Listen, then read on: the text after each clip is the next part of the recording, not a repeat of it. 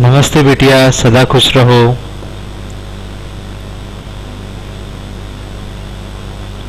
मेरा नाम doctor Hemant Vyas associate professor and head of department of surgery faculty of homoeopathic science Jyoti Vidyapeeth women's university Jaipur. आज के session में हम discuss करने जा रहे हैं diseases of conjunctiva so welcome to the presentation of diseases of conjunctiva part two आज हम कुछ डीजनरेटिव कंडीशंस कंजंक्टाइवा की जो है, इनको डिस्कस करेंगे, जिनके अंदर है पिंगिकुला टेरिजियम और कॉन्क्रीशंस सो लेट्स स्टार्ट सबसे पहले degenerative condition of conjunctiva that is pinguecula जैसे कि हम इस फोटोग्राफ के अंदर देख सकते हैं कि टेम्पोरल साइड ऑफ़ कॉर्निया जो है वहाँ पे एक येलोइश कलर डॉट या येलोइश एक टिश्यू फॉर्म हो गया है। इसी को हम पिंगिकुला कहते हैं। तो इसको हम डिटेल में स्टडी करते हैं। This is extremely common yellowish white patch of bulbar conjunctiva near the limbus nasal और टेम्पोरल ओके दोनों ही साइड में ये हो सकता है कॉर्निया या तो ये नेजल साइड में या टेम्पोरल साइड दोनों ही साइड में ये प्रोड्यूस हो सकता है। अब इसके कॉजेस क्या है? Age related changes then strong sunlight, ultraviolet light exposure dusty windy and smoky working environment and it considered as precursor of pterygium. Okay, pterygium जो हम आगे पढ़ने वाले हैं उसका ये एक प्रिकर्सर भी माना जाता है पिंगेकुला को। हार्मलेस होता है पिंगेकुला और इसका कोई भी जनरली कोई साइंस एंड सिम्टम्स इसमें नहीं डेवलप होते।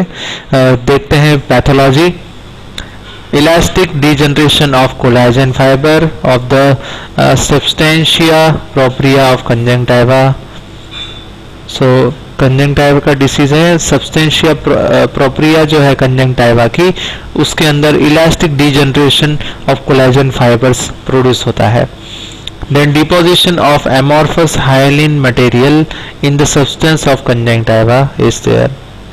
Clinical features को देखें तो ये आइदर इट इज़ बायलैटरल और unilateral usually stable yellowish white colour का होता है एंड द शेप में be triangular this patch near limbus and commonly nasal limbus में ये दिखाई दे सकता है। In congested conjunctiva in congested conjunctiva it stands out as a patch जैसे कि हम और क्लियरली देख सकते हैं फोटोग्राफ में येलोइश डिस्कलरेशन जो कि इलास्टिक टिश्यूज जो हैं, उनका डिजनरेशन इसमें हो रहा है। Then pinguecula complications inflammation intraepithelial cyst intraepithelial abscess conversion into pterygium is there these are the complications of pinguecula treatment को अगर हम देखें no treatment is required if required excision can be done and avoid exposure to sunlight dust smoke etcetera should be there उसके बाद pterygium को study करेंगे हम। सो so, पिंगीगुला के बाद में नेक्स्ट डिसऑर्डर है हमारा।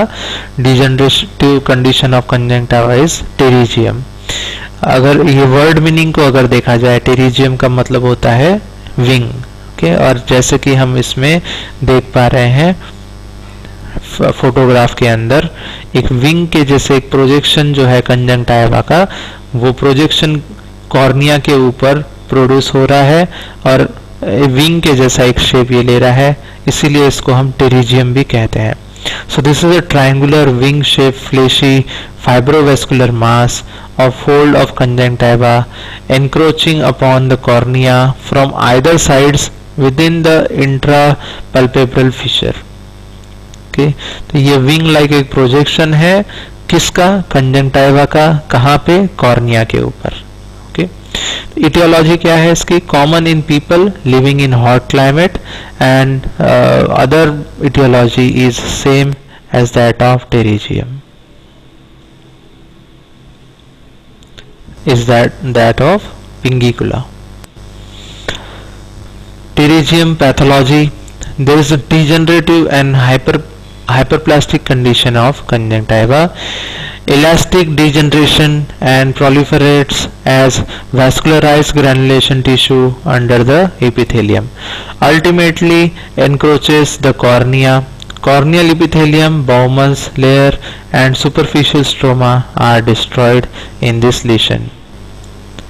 Then if we focus on clinical feature we can see the patient is having foreign body sensation watering from eyes discomfort and visual disturbances then cosmetic disfigurement common in outdoor working males unilateral or bilateral mostly on the nasal side side is not spare दोनों ही side में हो सकता है but nasal side में ज़्यादा commonly मिलेगा iron deposition is seen in corneal epithelium that is called as Stoker's line.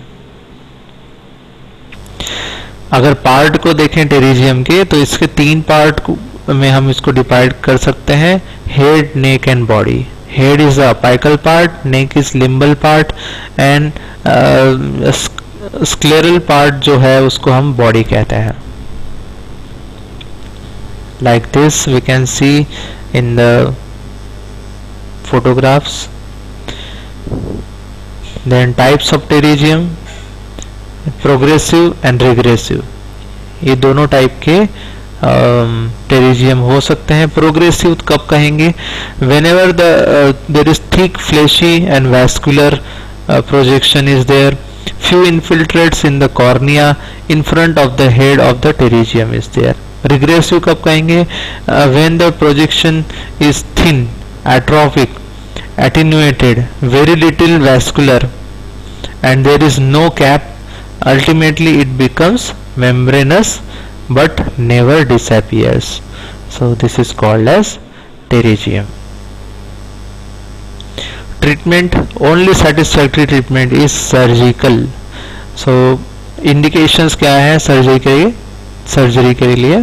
Cosmetic disfigurement अगर किसी को लग रहा है तो वो सर्जरी करवा सकते हैं। अगर कंटिन्यूस प्रोग्रेस हो रहा है and diplopia is there due to interference of ocular movements is there then we should go for surgical treatment recurrence is very common surgery के बाद में भी ऐसा नहीं है कि ये वापस नहीं आएगा। सर्जरी के बाद में भी रिकरेंस इसके अंदर देखा जा सकता है। So it can be reduce recurrence को रिड्यूस करने के कुछ तरीके हैं जो कि हम यहाँ डिस्कस कर रहे हैं। Transplantation of pterygium in the lower fornix post operative beta irradiation post operative और intra operative use of anti mitotic drugs surgical excision with bare sclera. Surgical excision with free conjunctival grafts and excision with lamellar keratotomy keratectomy and lamellar keratoplasty.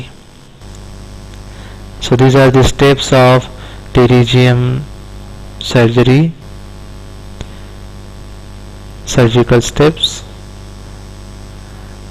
with the help of which we can make a graft from the healthy conjunctiva and shift it to the unhealthy part.